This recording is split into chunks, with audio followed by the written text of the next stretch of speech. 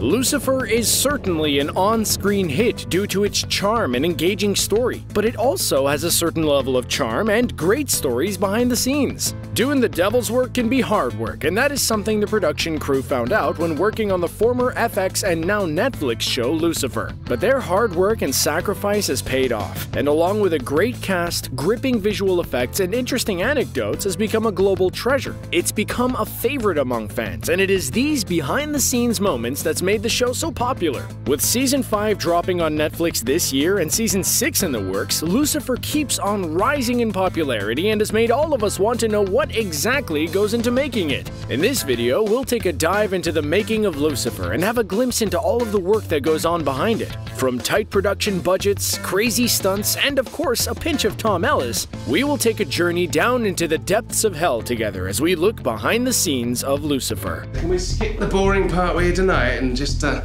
let's get to the good stuff, shall we?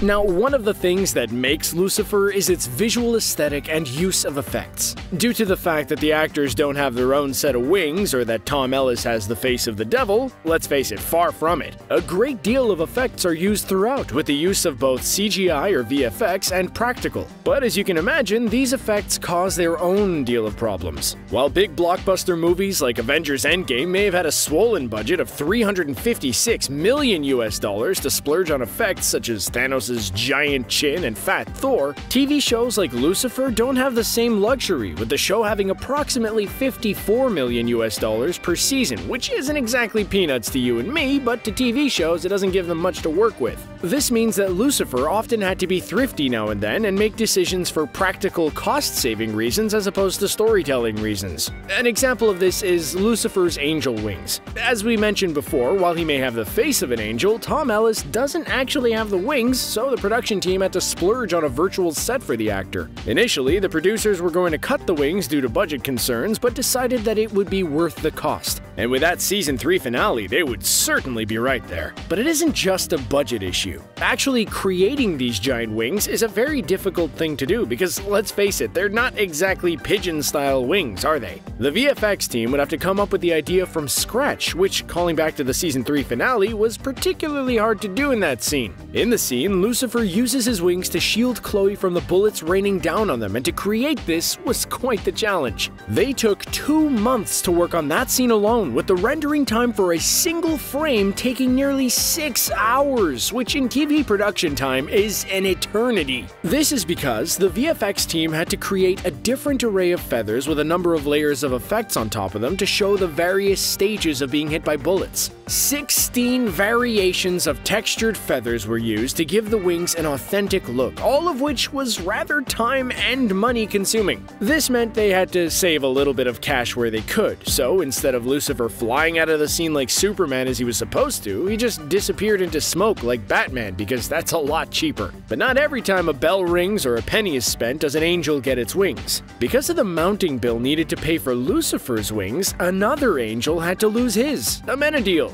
And you, my feathered friend, can go to hell.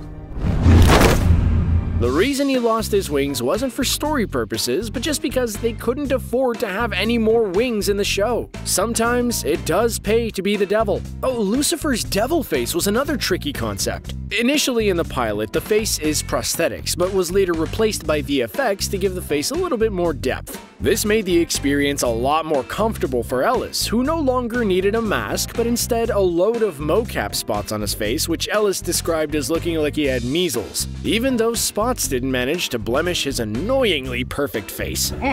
Yummy, yummy, yummy. Can't get enough.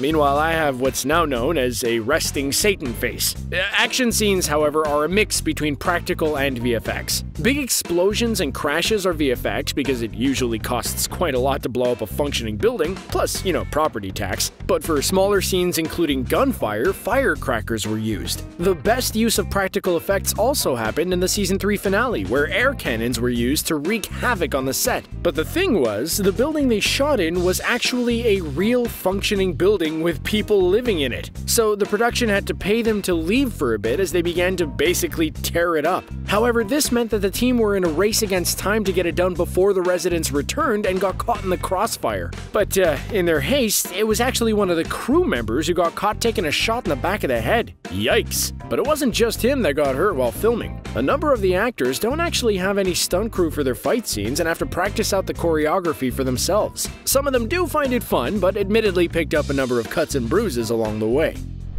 The show was actually initially shot in the cheaper west coast of Canada in Vancouver as opposed to LA, due to LA being such an expensive place to film. But after season 2, the crew decided to move the show to the City of Angels and proceeded to film there, with the producers saying that the city itself serves as a character. But even more production moved back stateside. There were some real landmarks used. For example, the Sunset Tower Hotel, which was the inspiration for Lucifer's Lux Piano Bar and Penthouse, meaning you can literally stay in hell if you wanted to. If they don't have chocolates on the pillows, then it's actually worse than hell. But uh, after the show moved to LA, it got prematurely cancelled by its original network, Fox, until it was saved by Netflix so Lucifer fans could chill. But it wasn't the first time the show was nearly binned. Due to its religious references, it was seen as blasphemous and caused an outcry among some members of the audience who banded together to get the show cancelled before its initial release. But thankfully for Lucifer fans, Fox took their chances and released it anyway, and it quickly became a smash hit. Fox also gave Lucifer a lot more free reign than you might expect. In fact, it even shocked executive producer Joe Henderson when he had to convince the network to include the season 1 finale where, spoilers, we learn Lucifer and Amenadiel's mother has escaped hell. When they pitched it to Fox, they weren't sure how they were going to react, but Fox apparently loved the idea. The fact that Lucifer is so popular also might have something to do with the fact that it already had an established fan base. The character was initially introduced in Neil Gaiman's Sandman comic book series before spawning its own independent comic, unsurprisingly titled Lucifer.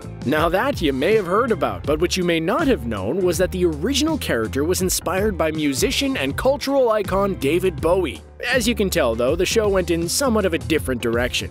Although Bowie as Lucifer would have been a hell of a watch as well. But while the comic inspiration was Bowie, Ellis took his inspiration and character growth from renowned poet Oscar Wilde. The TV series, though, also moves away from the comic book series quite a bit and falls more into the crime procedural format that is so popular in the TV industry. But despite the changes, Gaiman is apparently a fan of the show and gave it his thumbs up. In fact, his exact words were that it was a sexy, mad, bad Doctor Who, which I guess is a compliment. Also, does anyone kinda want to see Ellis as Doctor Who now, or is that just me?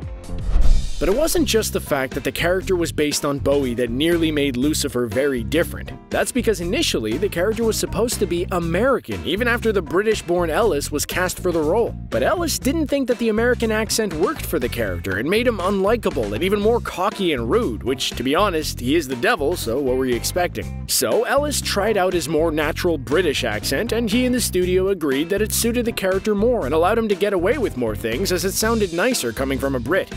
Maze, darling, would you mind running down to the wine cellar and fetching Mum? I think she'd like to hear this. Let's face it, he's not wrong. Plus, Brits make the best anti heroes and villains. If you were worried, though, that the cast hated each other, then you would be sadly right. Just kidding, they get on like Lucifer and a glass of whiskey. In fact, they all get along so well that you can often see them dancing with one another on their social media pages in order to pass the time and just in general having a great deal of fun. Another way they have fun is by playing pranks on one another. One instance was by allowing their prop guy, Ben Krakowski, to turn the crew's meat and platter tray that they have for lunch into a work of art, transforming it into a face that does remarkably look like the show's devil face.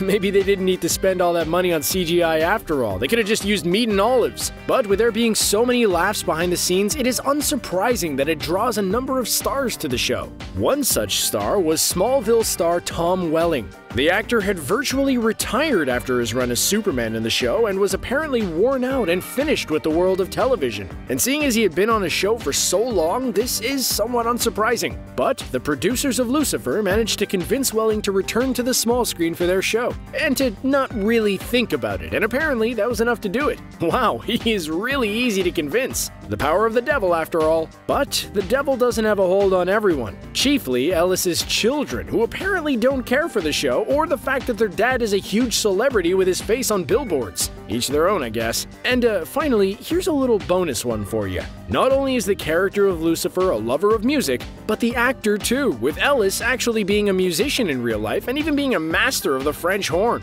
Maybe we should steal him a blue one like Ted Mosby in How I Met Your Mother. If you don't mind, I really must be on my way. Have a nice evening. You too, officer. You too. So what do you make of the show? Are you a fan? Let us know in the comments below and make sure to subscribe to the channel for more interesting content.